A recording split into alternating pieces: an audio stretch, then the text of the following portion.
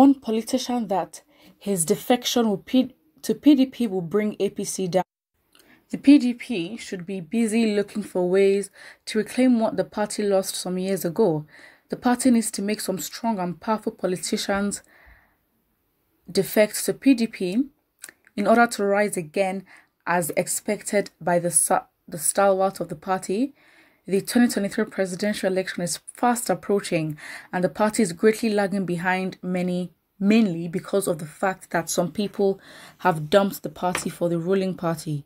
The PDP should target a politicians in politician in the APC also for them to know how the ruling party can be defeated as well.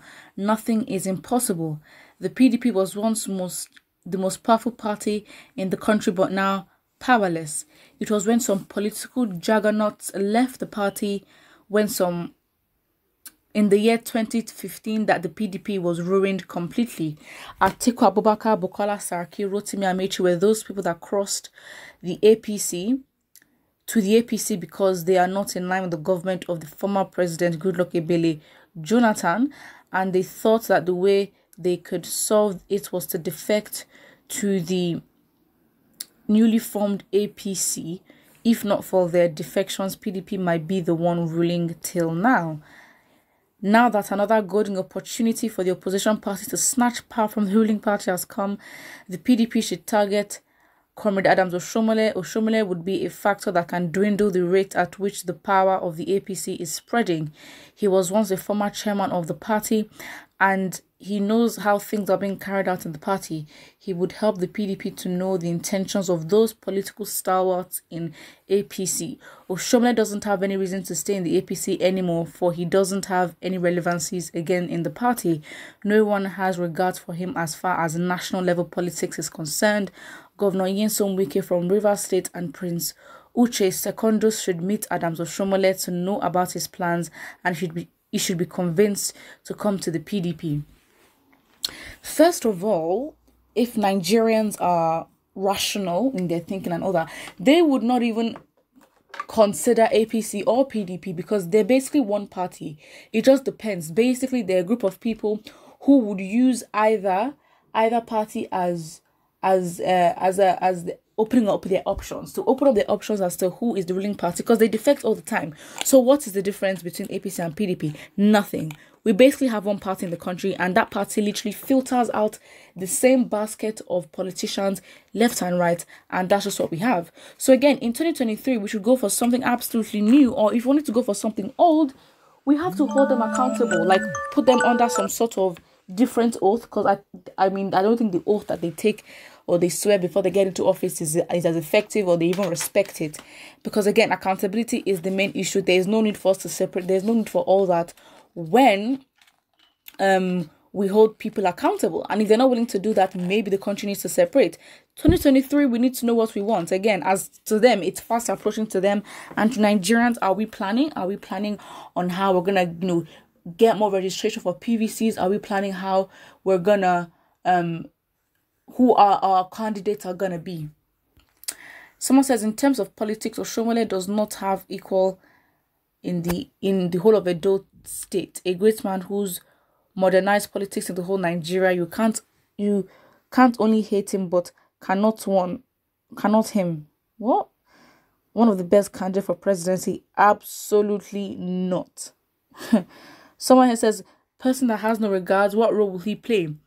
They are the ones that push that put us in this suffering that we're facing. Absolutely. So again, if you want to put these same people in government, that is absolutely your own prerogative. But the fact remains that it will have to be justified and they will have to prove to us that they actually won the vote if 2023 or when 2023 comes or else I don't even think there'll be any election. Let's even let's let's even try that.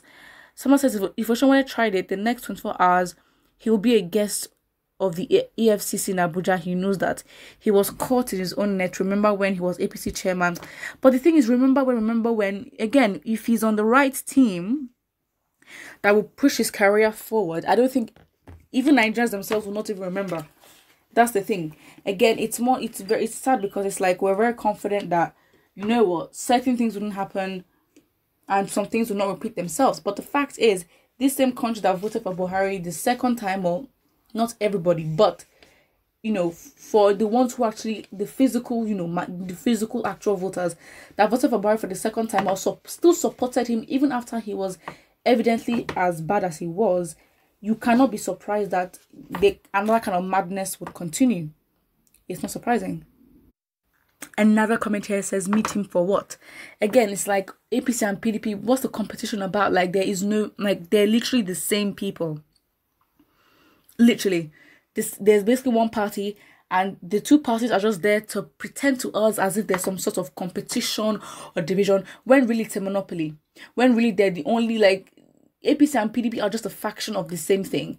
Again the politicians there just exercise their options as to what is going who's going to win and then they defect.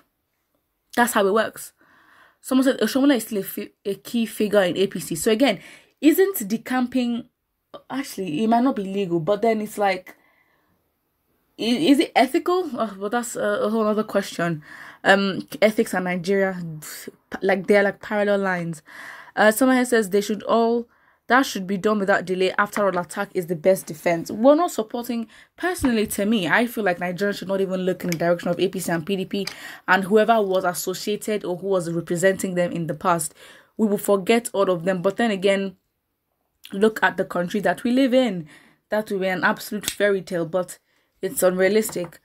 Someone says enough of politics of personality. What we need is issues based politics. Our politicians are just moving from B to A, no ideology to bad. True. Um again, it's I don't know Oshiomhole. Again, the young generation are here to lead things, but then obviously with the Nigeria is very ageist. I would say that very very ageist. So it's like again, if these old people are still in power, I mean, again, how their greed and their you know their their their need. I don't even know why they don't want to leave it alone.